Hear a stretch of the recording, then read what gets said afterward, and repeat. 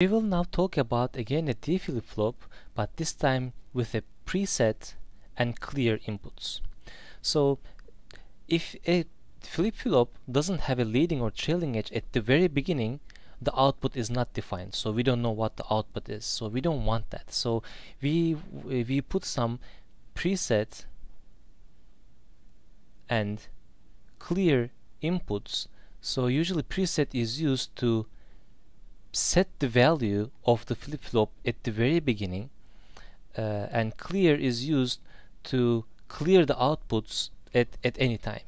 So both preset and clear their effect is instantaneous. So they change the output right away regardless of what the what the input or clock is. So this does not matter what the clock or D is, but it changes the output right away. So when you have uh, preset is enabled, your output goes to 1. Doesn't matter which state it goes to 1.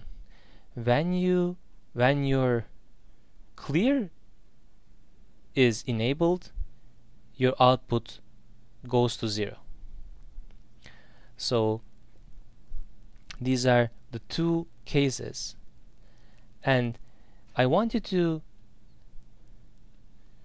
be aware that when I say preset is enabled, this is again the decoder idea. If you have a bubble here, that means in order to enable this, your preset has to be zero for same for clear. If there were no bubbles then the preset and clear would be enabled with 1 but in this case preset and clear will be enabled with a 0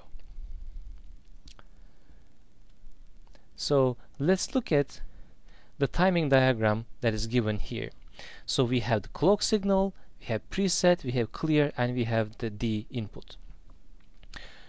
What I would do so first of all, before the preset here, you don't have any defined output. So before that part,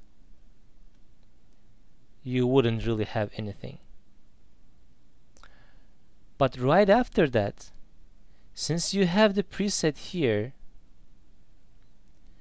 that is activated and you have clear that is activated here, without looking the D and clock you can easily put a 1 all the way up to where the preset ends and a 0 all the way where the clear ends.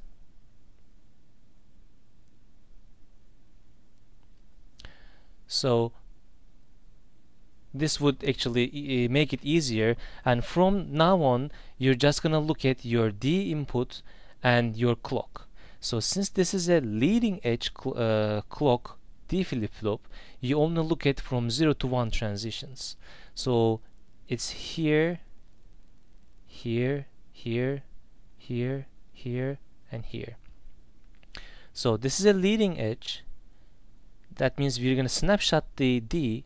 That is 1 since this is gonna go all the way to there and it is still 1 so I'll continue with 1 all the way up to other leading edge. In the leading edge here the D is 0 so I'm gonna go to 0 all the way again up to the leading edge.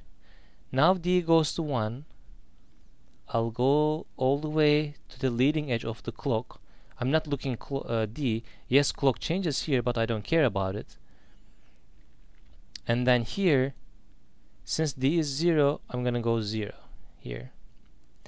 So now we are at the same point with the uh, where we set the clear. So clear is 0. It doesn't change anything because our circuit is already 0 here. Output is already 0. Let me just show this uh, clearer.